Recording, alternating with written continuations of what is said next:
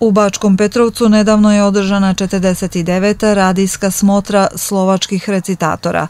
Takmičili su se učenici nižih i viših razreda osnovnih, srednjih škola kao i studenti.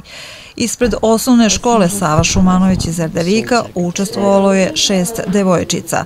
Milica Malja, Lena Tordaj, Kornelija Balaž, Ana Tordaj, Karolina Mijatović, a njena sestra Nikolina, učenica drugog razreda, osvojila je drugo mesto u kategoriji učenika koji izučavaju slovački jezik sa elementima nacionalne kulture.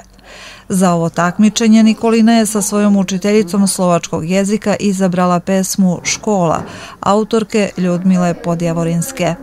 Ovo mi je bilo prvi put uh, što sam se takmičila u recitaciji i bilo je tamo zaista puno dece i bilo je jako lepo što bilo je tamo lepo kako su oni tamo recitovali. A ti si osvojila koje mesto? Drugo. Zadovoljna sam vežbala me je pani učiteljka Ruženka i mama. Za veštinu uspešnog poetskog izražavanja nije dovoljan samo talenat, potrebna je redovna vežba i dobro razumevanje pesme, kaže učiteljica Ruženka Đurik. Pa učenici naše škole e, svake godine redovno učestvuju na ovom takmičenju. Ono se zove radijska smotra slovačkih recitatora koja je bila 49. ove godine po redu, sledeće godine je jubilarna 50.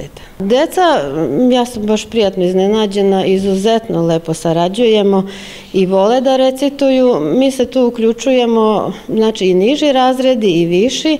Imali smo ove godine jednu devojčicu iz Bingula, iz područne škole i u konkurenciji poezije i također smo imali i jednu prozu u konkurenciji proze. I ko je radio sa učenicima?